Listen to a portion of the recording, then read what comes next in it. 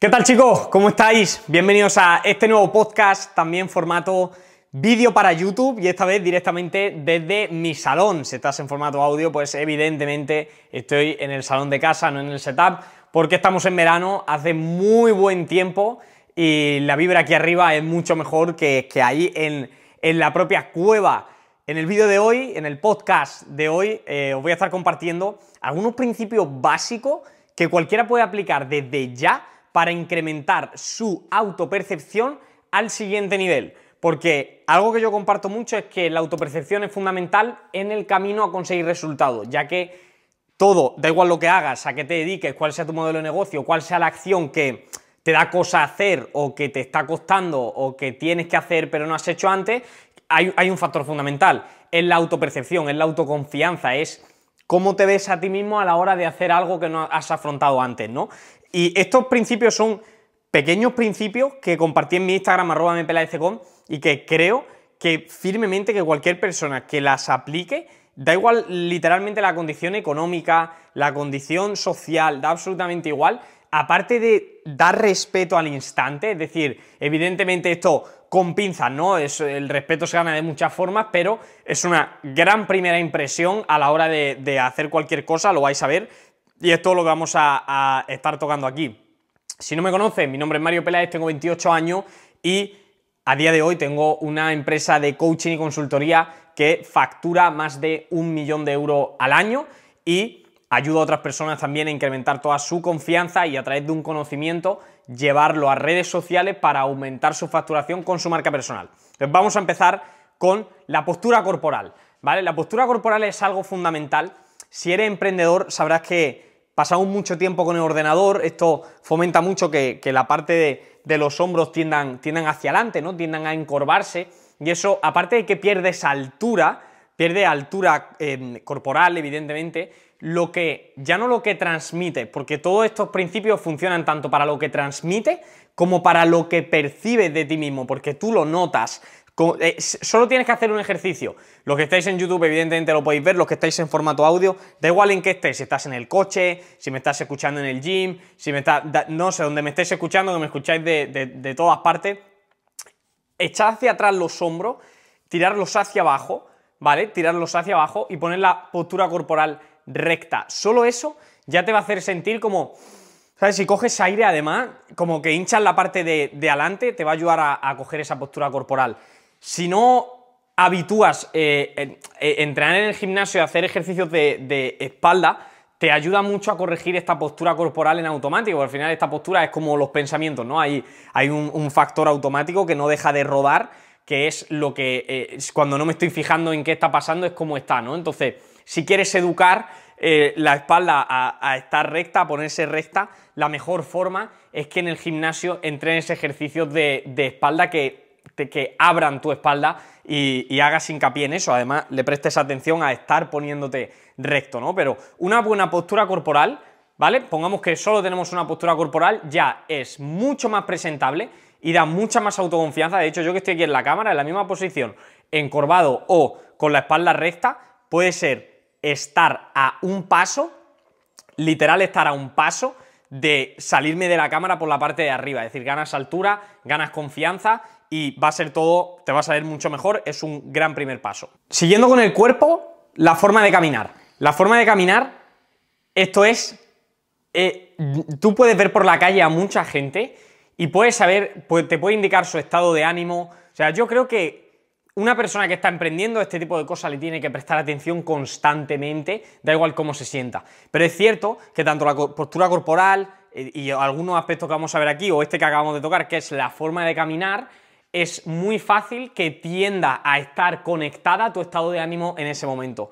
Entonces, eh, evidentemente, si te sientes triste, tiendes a caminar lento, a arrastrar los pies, tiende a no levantar la cabeza, a, ¿sabes? Como todo se nota, toda esa energía se transmite, entonces cada vez que estés caminando es muy importante que a la hora de caminar lo primero no arrastrar los pies. Esto es muy fácil con chancla, yo ahora por ejemplo llevo, llevo chancla y en verano evidentemente como no va sujeto de la parte de atrás, pues es mucho más fácil. Pero yo sobre todo hablo cuando vas con zapatillas, cuando vas con zapatos, cuando vas a cualquier lado, arrastrar los pies queda fatal queda fatal, ¿sabes? Da, da la sensación de que vas arrastrando el cuerpo. Entonces, caminar sin arrastrar los pies es fundamental. Y a esto le voy a agregar otra cosa, es, aunque está aquí puesto, pero lo voy a decir ya, es la limpieza en los zapatos. También mi madre me lo mencionaba mucho, era tener siempre, siempre limpios los zapatos, eso va a decir muchísimo de las personas que los lleva. Tener los zapatos limpios, o sea, tú solo tienes que imaginar a una persona que va bien vestida, pero lleva unos zapatos sucios. Es que lo joden todo. O sea, intenta siempre llevar los zapatos lo más limpios posible, es muy fácil, todos los zapatos se pueden limpiar, da igual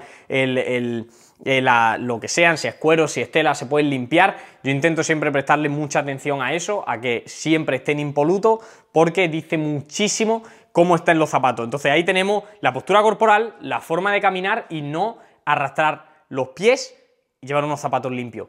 Eso es increíble cómo te vas a sentir, ¿vale? Porque la forma de caminar también transmite confianza. Todo va muy hilado, ¿vale? Todo va muy conectado, todos estos puntos van muy conectados porque el, formato perfecto se hace en el momento en el que tú ya has, eh, eh, haces todos a la vez. Porque en el momento que cancelas uno te cargan los demás, ¿no? Entonces vamos a continuar, porque junto a la forma de caminar conectamos con los ojos, es la mirada, ¿vale? La mirada y también la altura de la, de la cabeza, ¿no? Una cosa es eh, es brutal, el lenguaje no verbal es brutal, pero una cosa es ir con la cabeza alta como si fuera un, un sobrado, como por encima de todo el mundo, ni mucho menos, es simplemente la mirada allá donde estés, estés hablando con quien sea o estés haciendo lo que sea, que sea una mirada directa, una mirada atenta. Es decir, algo que se nota mucho, que la gente está distraída, ¿sabes? Está hablando, está pensando en otra cosa. Entonces, simplemente, cuando tú estás haciendo algo, incluso aunque sea desayunar, estar presente en eso, mantener la mirada donde estás, en una conversación, eh, es brutal. O sea, el tema de la mirada es brutal. Eh, yo recuerdo hace un montón de años leí, leí libros sobre lenguaje no verbal y el tema de la mirada era de lo que más transmitía. La mirada y las manos, ¿vale? También vamos a tocar el punto de las manos. Entonces, ¿la jugada cuál es? Punto uno, mantengo una postura corporal adecuada. Punto número dos, camino de, con confianza, pero sin eh, un ego brutal, tú puedes caminar con confianza, con firmeza. Yo esto de quien más lo aprendí fue de uno de mis primeros mentores, que se llama Paco Pérez, es la persona que fue eh, quien me contrató en, mi primer trabajo cuando vendía coche y yo cuando le veía caminar con el traje, él siempre, nunca arrastraba los pies, siempre llevaba una posición perfecta, eh, eh, su manera de caminar era con confianza. Yo me daba cuenta, y mira que yo no prestaba atención a esto, pero me lo transmitía hasta sin prestarle atención. Entonces, el, tema de, de la mirada es fundamental que lo ancles con tu postura corporal, que lo ancles con tu manera de caminar, y ahora vamos con lo siguiente, es el tono de voz, ¿vale? El tono de voz es fundamental. Esto también va anclado a ser, esto, como son principios básicos, no voy a entrar en romper carácter, cabrearte, eh, romper carácter, hay gente que pregunta qué es romper carácter, romper carácter es como cuando pierdes los papeles, ¿sabes? Es decir, eh, has perdido los papeles y, te has cabreado, o sea, una cosa, por ejemplo, ahora yo antes brevemente he hecho un corte en este vídeo y en este y en el podcast porque Bimba, una de mis tres perros, se ha ido para allá, ha empezado a lloriquear porque está esperando a, su madre y eh, ha empezado a lloriquear, me estaba molestando, he hecho una pausa y le he llamado. Le he llamado fuerte, o sea, le he llamado fuerte, pero no estoy cabreado, simplemente le llamo fuerte porque es el tono con el que percibe que, oye, para de hacer eso y efectivamente aquí la tengo al lado ahora mismo hecha un ovillo. ¿sabes? pero yo no me he cabreado. ¿Romper carácter qué sería? Pues ir y darle un palizón al perro o, tirarle algo, o, ¿sabes? ¿Entendéis? Que es perder los papeles. Generalmente va muy anclado al luego te arrepientes, ¿saben? Cuanto ha pasado, dice, me arrepiento de, de cómo he reaccionado a esto o lo que acabo de hacer. Entonces, el tono de voz depende mucho, esto daría para 14 podcasts, depende, muchísimo de las circunstancias, depende mucho de si eres una persona que está recibiendo preguntas, si eres una persona que las está haciendo, si eres una persona que, como quien dice, quien juega en casa en esa situación o quien juega fuera de casa, ¿no? hay, hay, muchos niveles de situaciones donde tienes que saber cómo hablar, cuándo es tu turno de hablar, cómo, que eso ya lo voy a anclar también. No interrumpas a la gente no interrumpas hablando. Fijad, si veis cualquier entrevista, barra debate o lo que sea, cuando una persona interrumpe a otra, generalmente es como, coño, qué pesado, tío, que deje de interrumpir, que le, deje terminar. ¿No sabéis lo elegante que es estar hablando con alguien que no comparte tu opinión o que tenéis puntos de vista distintos y tú mantienes tu silencio cuando la otra persona está hablando. Eso es brutal. Porque generalmente es algo que muy poca gente presta atención. Entonces, en el momento que tú empieces a hablar, la otra persona te va a interrumpir. Y eso ya a una audiencia le deja clarísimo cuál es tu postura y cuál es tu posición y cuál es tu manera de ser. Y es algo que te va a dar respeto al instante, ¿no? Entonces, hablando del tono de voz, es siempre saber en qué circunstancia, pero aquí a lo que yo me quería referir cuando escribí esto es a no tener un tono de voz bajo. ¿Sabes? Típica persona que con la vocecilla baja, a lo callado, ¿no? Que, lo dice con la boquilla pequeña, con la boquilla pequeña, ¿no? Luego con la boquilla pequeña, siempre con confianza, bien, vocalizando. Yo, por ejemplo, soy de Jaén, a mí donde más cera me dan es a la hora de vocalizar, pero bueno, siempre le, le voy prestando cada vez más atención. Pero sobre todo es tu tono de voz. Que no tengas un tono de voz como cabizbajo, como, como, como, que tu opinión no importa. Como... Por eso tenéis que trabajar mucho la autoconfianza, porque va a hacer que yo, cuando voy a cualquier lado, un podcast, un tal o lo que sea, o, mantengo un tono de voz, un, un, buen tono de voz, simplemente por el hecho de cómo, cómo yo me percibo a mí mismo. Ok, el siguiente punto es cómo das la mano al presentarte. Esto es fundamental.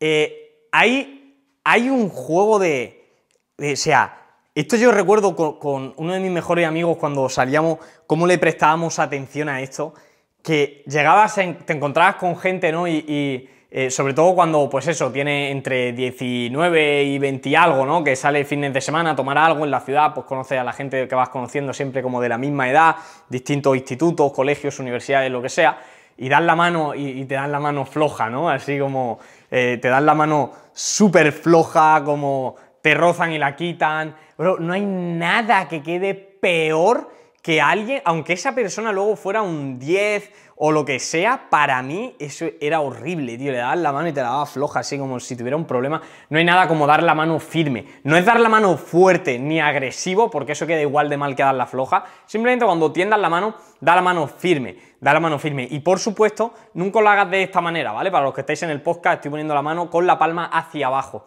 Porque si tú das la mano con la palma hacia abajo, o te das la mano con la palma hacia abajo, es alguien que generalmente te quiere mostrar superioridad. Mi jefe de, cuando yo trabajaba en Citroën daba la mano así, literal. Cuando iba a saludarte decía, ¿qué tal? Y te ponía la mano, te ponía la mano con la palma hacia abajo. Eso es literal. Claro, tú para dársela tenías que poner la tuya con la palma hacia arriba, era como servicial, ¿no? Como que él estaba por encima. Eso es puro lenguaje de, dar la mano. La mano generalmente se tiende neutra, es decir, ni hacia abajo ni hacia arriba, es neutra.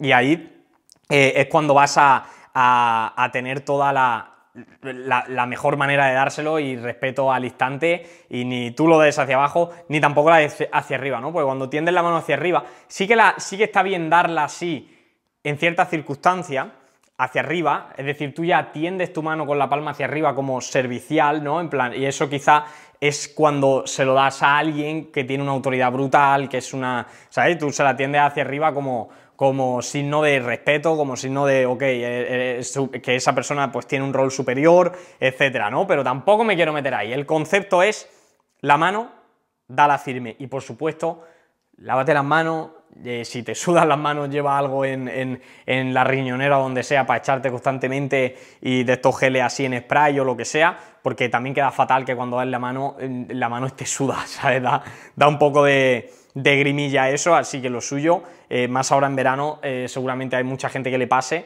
pero llevar las manos limpias es brutal, ¿sabes? Porque se nota mucho cuando das la mano a alguien que la lleva limpia. Luego, súper importante, las uñas, no lo había apuntado, ya lo voy a decir aquí, las uñas, yo lo he dicho siempre, me he tirado 27 años mordiéndome la uña y con este proceso diario de disciplina continua, trabajo continuo, llegué a cogerle asco al hecho de tener la uña mordida, ¿vale? Entonces eh, em, cuando me las veía sentía tú das la mano y das la mano con las uñas mordidas o estás en una reunión con un folio y estás señalando algo y al señalar tienes la mano con la uña, ya está transmitiendo que tienes una persona nerviosa, es una persona, ¿sabes? Como, no hay nada como unas manos perfectas, ¿sabes? Entonces, cuida mucho también el tema de la uña.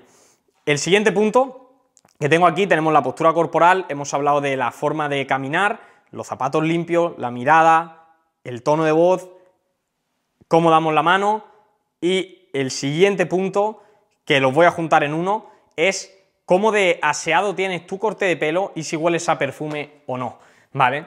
No hay nada y, y solo piensa esas situaciones donde tú te has juntado con alguien que, que se ve fresco, ¿no? Si, a mí, por ejemplo, me gusta la gente que tiene barba, que tiene y, la lleva súper cuidada o súper bien recortada, me parece brutal, me da una imagen, es que me da respeto al, momento hacia esa persona, es como wow, porque al final como haces algo, haces todo. Entonces, si tú con tu postura corporal, tu tono de voz, tu manera de eh, llevar tus zapatos, tu manera de caminar, tu mirada, cómo das la mano, o, cómo llevas tu aseo personal en, cuanto al rostro y demás, eh, si eso es malo, transmite que todo aquello que vas a hacer es malo, ¿vale? Pero yo, por ejemplo, recientemente fui a BMW aquí en Portugal y fui a, pues, estuve viendo diferentes concesionarios planteando comprar coche aquí en Portugal, pues yo vivo aquí, ¿no? Entonces fui a ver un, coche en BMW, fue el único, fui a un montón de marcas, ¿eh? y fue el único comercial que, y mira que él no llevaba un degradado, de un corte con degradado y tal, de hecho tenía el pelo largo, pero lo tenía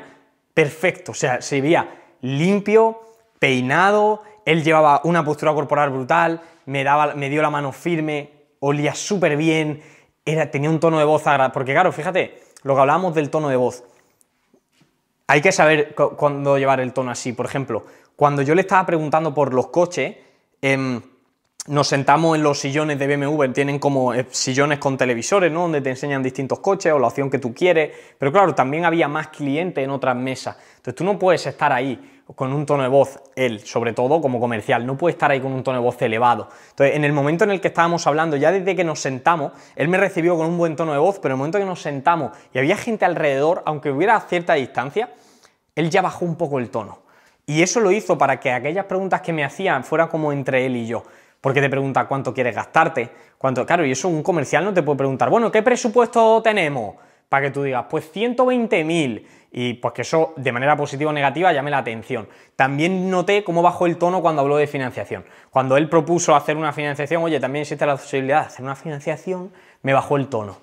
Y baja el tono porque no quiere, eh, cuando te preguntan por qué cuota sería cómoda, cuánto puedes dar de entrada o quieres dar de entrada, saben que son como temas como delicados, ¿no? Entonces bajó el tono, me pareció brutal, ese tío se ganó mi respeto al instante, me pareció increíble y, estoy seguro que es una persona que presta atención a todo eso. Y también puedo decir que estoy seguro, también por cómo vi su mesa, tenía todo súper ordenado.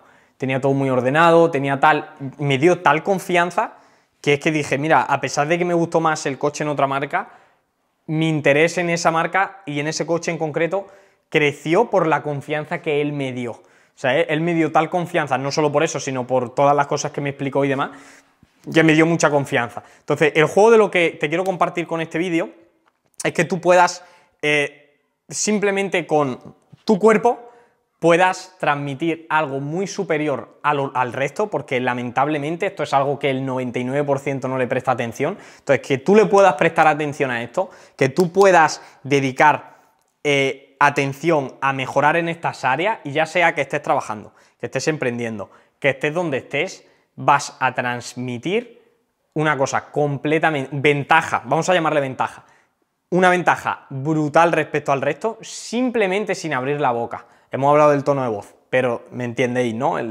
todo el concepto de la, de esta corporal. Así que este ha sido mi, mi aportación respecto a esta área, creo que es súper importante y son principios básicos.